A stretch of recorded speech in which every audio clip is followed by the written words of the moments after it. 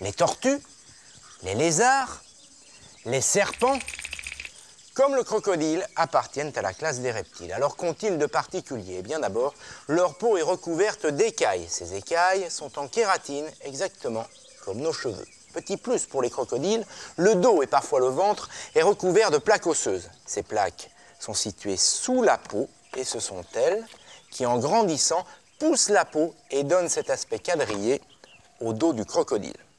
Mais revenons aux reptiles. En général, ils pondent des œufs et la femelle crocodile n'échappe pas à la règle. Elle pond des œufs. Enfin, on dit que les reptiles sont des animaux à sang froid. Ça ne veut pas dire que le sang est glacé, simplement, à la différence des mammifères qui ont une température de 37-38 degrés, la température des reptiles varie en fonction de l'endroit où ils se trouvent. Autrement dit, quand ils se mettent au soleil, Marcel, le soleil, s'il te plaît, merci, eh bien ça chauffe.